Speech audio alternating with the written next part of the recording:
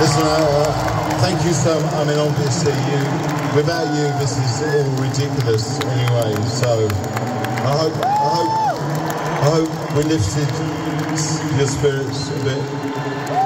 And um, thank you to all the people who work with us. Unbelievably dedicated, beautiful people who work with us. Everyone's worked so hard to make this happen. Thank you.